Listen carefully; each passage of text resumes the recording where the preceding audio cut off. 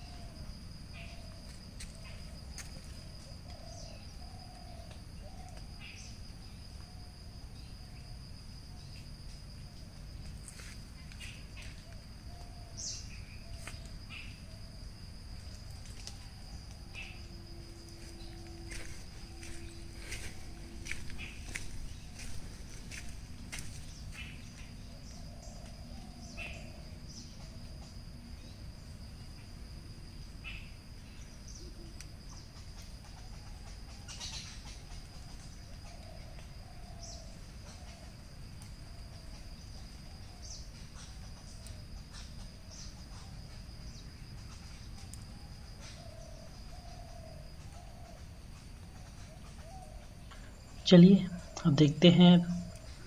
छोटे से बहते हुए झरने को जो कैसे कलकल करते बहते हुए